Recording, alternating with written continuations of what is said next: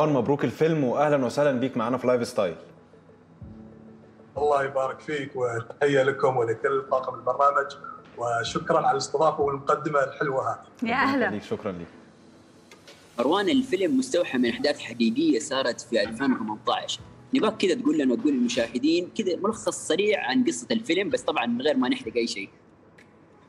والله من غير ما نحرق ما بنحرق إن شاء الله. الأحداث طبعا صارت في 2018 ويعني مش من فترة بعيدة جدا. ولكن المغزى والرسالة من هذا الفيلم أخواني. علشان تو يعني أنا ما أبغي أحرق تفاصيل الفيلم ولكن آه، ما أبغي أتكلم عن التضحيات. طبعا رحمة الله على شهدائنا ولا تضحيات جنودنا والقوات المسلحة الإماراتية. اللي راح تشوفونه إن شاء الله في هذا الفيلم اللي هي رسالة الاخوه والصداقة وان كيف الواحد منهم كجنود ان يعني مستعد ان يضحي بنفسه كرمال انه ينقذ صديقه في هذا الكمين، طبعا فكرة فيلم الكمين مثل ما تفضلت انه فكرة قصة واقعية تدور حول ثلاث من جنود الإمارات آه، تعرضوا لكمين من قبل المتمردين مم. فتخيلوا يعني القصة الحقيقيه نحن يمكن اختصرناها كون فيلم ولكن القصة الحقيقيه الواقعيه آه، الجنود في هذه الحادثة وفي هذا الكمين قعدوا تقريبا حول الخمس وست ساعات ضرب RPG من كل الجهات.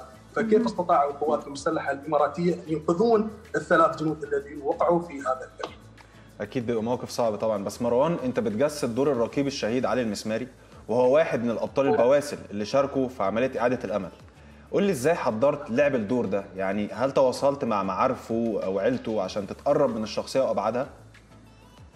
والله شوف من محاسن الصدف إن أحد الممثلين اللي معانا اسمه سعيد الهرش المسماري هو أيضا ابن عم رحمة الله عليه الشهيد علي. المسماري الله يرحمه. أول ما يعني بعد ما صار الكاستنج وتم اختيار الممثلين وطاقم العمل آه، رحت لسعيد وسالته قلت لسعيد بس خبرني عن علي الله يرحمه كيف مواصفاته كيف؟ قال لي أنت. لا. تكثر ولا تزيد ولا تغير. وحتى من ناحية الشبه قال يعني في مواصفات رحمة الله عليه آه، ربنا يرحمه. يعني في في مشابه لك. ولكن الفضول طبعا زاد عندي. آه، تواصلت مع أشقاء آه، أشقاء علي رحمة الله عليه وسمعوني كلام طيب. فكنت أبغى أدخل في علي الإنسان أكثر. يعني أنا. أعرف الأحداث آه، أبغى أعرف علي أكثر مع عائلته مع أبنائه مع إخوانه. كيف كان أيضا في السكن مع زملائه؟ كان يعني رحمة الله عليه آه، صاحب قرار آه، رياضي جدا. آه، كان آه، أذكرني قالوا لي هو عمل جيم خاص في المعسكر علشان الشباب يتمرنون معه. فأخذت بعض هذه القصة الخصال من الشهيد علي رحمة الله عليه. وطبعا مع السيناريو طورتها معه طيب مروان آه، تم تصوير الفيلم بالكامل بالإمارات بس وين بالضبط؟ صورناه في وادي وادي نقب في منطقة وإمارة راس الخيمة.